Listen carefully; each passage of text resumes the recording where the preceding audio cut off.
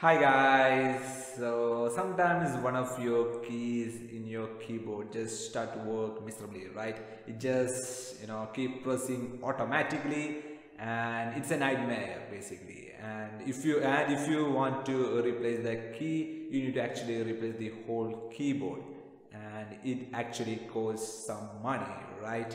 So basically in this video I'm going to show you guys how you can actually disable a key that working uh, miserably and basically you know save you some money. Okay so let's go.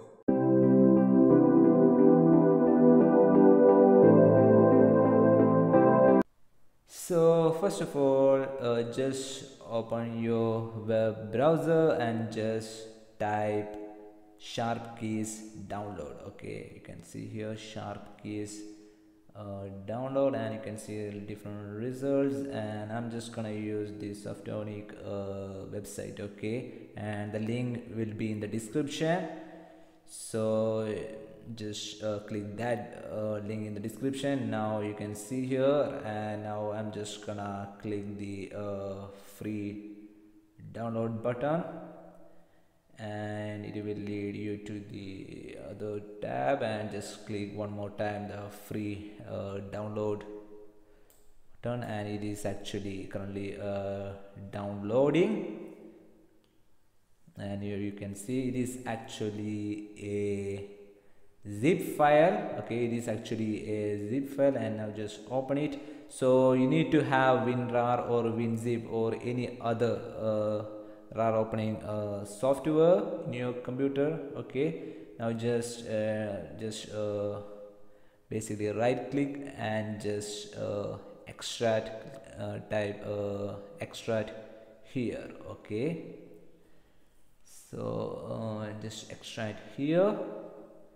And now just install the software on your computer the SharpKeys okay so I actually installed the uh, software and this is what actually the front layout looks like. Now just click the add button okay? And here you can see map this key from key right?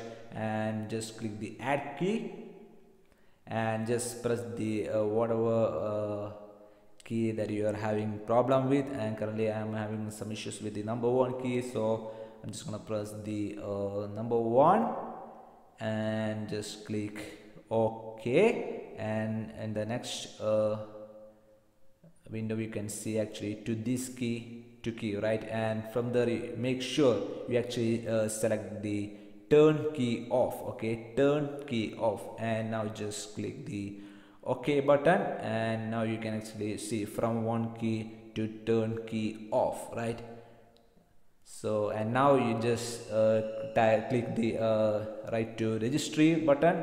And now you can actually uh, read. Key mapping have been successfully stored to the registry.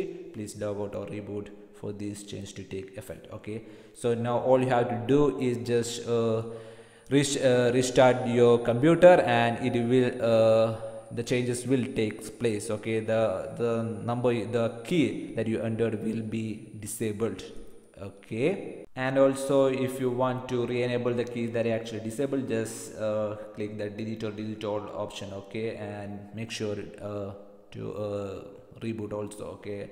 Whenever you make a change just reboot okay? Now if you want to actually uh, change uh, number two for example for number two uh, to number four all you have to do is just click the number two in the left side in the map this key and to this key just type number 4 okay? So now your number 2 button is going to uh, work as number 4 basically it is actually easy and of course.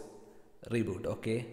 Whenever you actually write to registry just reboot basically okay? So anyway I hope it is helpful for you guys and see you guys on the next video